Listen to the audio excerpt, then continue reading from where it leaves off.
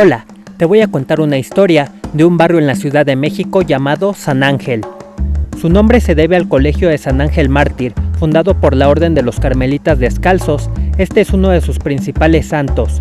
En la época prehispánica existió aquí un asentamiento llamado Tenanitla, que significa lugar amurallado o en el muro de piedra, dependiente de Coyoacán, lugar que puedes ver en la tarjeta que aparece aquí arriba.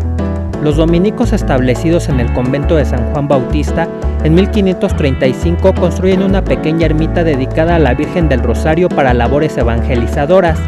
En 1596 dedican la capilla a San Jacinto de Cracovia e inician la construcción de un convento terminado en 1602 y el lugar comenzó a ser llamado San Jacinto Tenanitla.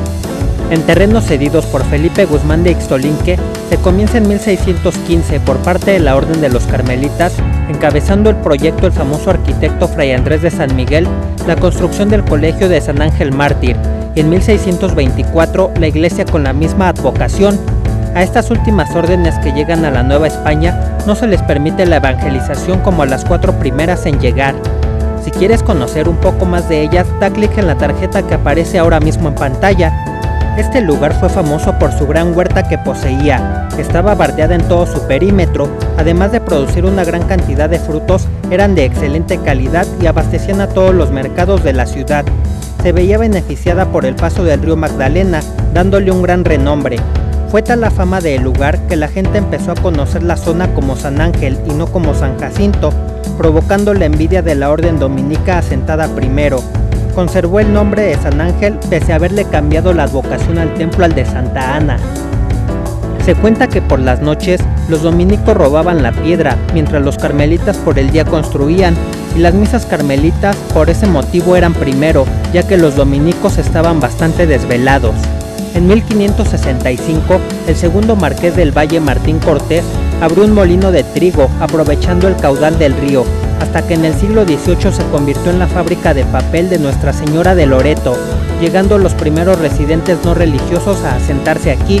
San Ángel era un lugar realmente alejado de la ciudad, y dado su verde paisaje y bondadoso clima, a finales del siglo XVIII y a lo largo del XIX, fue el lugar elegido por la gente con alto poder económico como zona de descanso y veraneo, ya que en estas épocas el olor de las aguas estancadas era desagradable en la ciudad llegando en primera instancia a habitar los alrededores de la iglesia de San Jacinto. Con la independencia llegó a ser un municipio del Estado de México con capital en lo que hoy es Tlalpan, y con la expulsión de los españoles la orden carmelita se ve mermada, pues sus integrantes eran en su mayoría de ese país. En la intervención norteamericana, el 12 de septiembre de 1847 fueron ejecutados 71 integrantes del batallón de San Patricio, colaboradores del ejército mexicano en la plaza de San Jacinto. También el colegio fue usado como cuartel, dejando un gran daño en sus instalaciones. Después, con las leyes de reforma, el famoso gran predio del colegio fue cerrado y vendido a particulares, en 1866 para la construcción de un ferrocarril que después fue sustituido por el tranvía, se divide el atrio.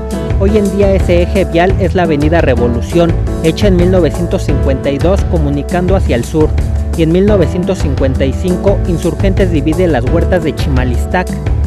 Otro hecho con gran renombre fue lo ocurrido el 17 de julio de 1928 en el restaurante de lujo La Bombilla, al que acudió el presidente Álvaro Obregón a comer José de León Toral acudió al recinto tras varios días de espiarlo, se acercó a mostrarle un dibujo hecho por él y cuando todos los comensales se descuidaron dio seis tiros al presidente matándolo al instante.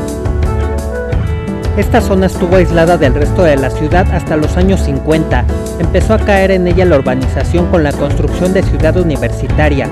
Actualmente es un centro residencial, cultural y gubernamental, atrayendo a mucha gente por su historia y su belleza.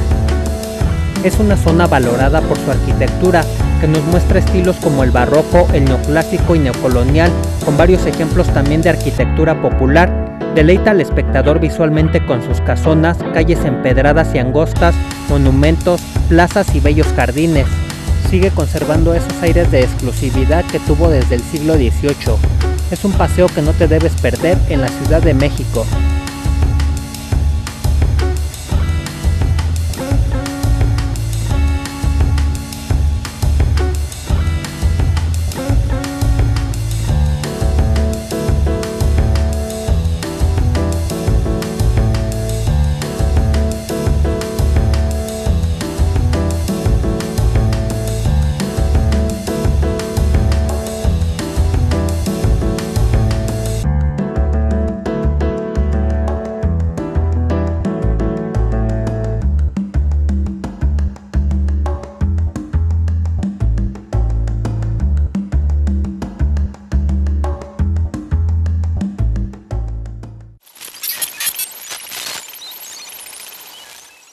Está ubicado en la alcaldía Álvaro Obregón, al sur de la Ciudad de México.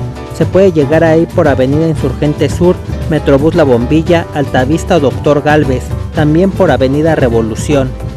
Cuenta con bastantes atractivos, comenzando por el exconvento e iglesia del Carmen, hoy museo, la iglesia de San Jacinto, el Centro Cultural San Ángel, la Casa de Cultura Jaime Sabines, la Casa del Obispo de Madrid, la Casa de los Dos Patios o de Chucho el Roto, la Casa de la Plaza de los Licenciados, la Casa de la Marquesa de la Selva Nevada, la Casa Blanca o de los Condes de Oploca, la Casa del Risco, la Plaza del Carmen, la Plaza de San Jacinto y su Bazar de Arte y Artesanías, la Plaza de los Arcángeles, la Casa Estudio Diego Rivera y Frida Kahlo, el Parque La Bombilla y el Monumento Álvaro Obregón y al fondo la Parroquia de San Sebastián en la Plaza Federico Gamboa. Si vas a pedir matrimonio, uno de los lugares recomendados es la Plaza de los Arcángeles. Proporcionará toda la ambientación romántica para el hecho. Además disfruta su tranquilo ambiente dando una caminata por cualquiera de sus bellas calles. Será sin duda un gran recorrido. Y ya sabes, si eres parte de la comunidad de viajeros o te gustaría hacerlo, suscríbete al canal o regálale un like. Hasta la próxima.